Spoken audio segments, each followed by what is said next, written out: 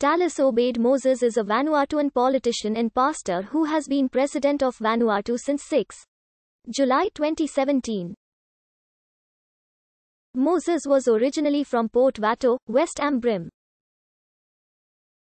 He attended primary school from 1964 to 1967. He later worked for the teaching service as a teacher in various schools. Before attending the Tangoa Presbyterian Bible Institute in South Santo in 1978. He studied at the Sydney Missionary and Bible College in Australia from 1980 to 1981 and graduated with diploma in divinity and mission. He later studied at Talua Ministry Training Center between 1985 and 1986, graduating with a diploma in theology.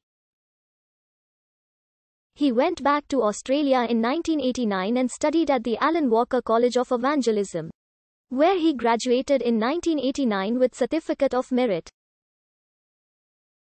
Moses also served as a pastor at Erromango, Ranon in North Ambrym, Luganville and Bamafai.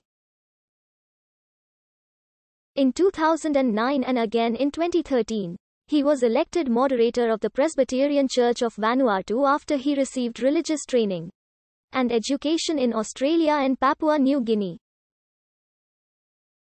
On 6 July 2017 he was elected to succeed President Baldwin Lonsdale who had died in office.